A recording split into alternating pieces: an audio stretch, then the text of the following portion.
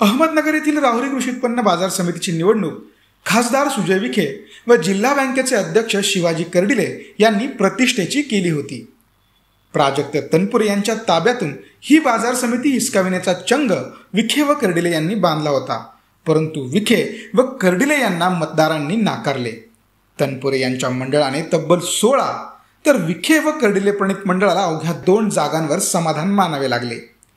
विखे व कर्डिले मंडळातील अनेक दिग्गजांना पराभवाला सामोरे जावे लागले. राहुरी कृषी उत्पन्न बाजार समितीसाठी चुरशीचे मतदान झाले.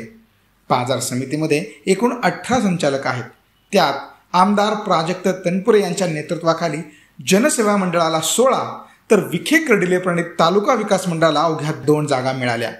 त्यात काही जागांवर एकदम कमी फरकाने विखे कर्डिले यांचे उमेदवार पराभूत झाले. त्यामुळे विखे गटांनी फेरमतमोजणीची मागणी देखील केली होती. विखे कर्डिले गटाचे सत्यजित कदम श्यामराव निमसे हे दोघेच विजयी झाले. तेही अवघ्या दोन मतांनी. तर विखे गटाचे नारायण सोनवणे यांचा अवघ्या दोन मतांनी पराभव झाला. विखे यांचे खंदे समर्थक असलेले वांबुरीतील उदय पाटील यांना देखील पराभवाचा जोरदार धक्का बसला. ही बाजार समिती आपल्या ताब्यात घेण्यासाठी विखे कर्डले यांनी जोरदार ताकद लावली होती. यासाठी विखेंनी तर तनपुरेंच्या घरावर वैयक्तिक आरोपही केले होते. तसेच तनपुरे यांच्या मागील संचालक मंडळातील चार संचालकही फोडले होते. राहुरीतील अनेक स्थानिक नेत्यांना हाताशी धरले होते.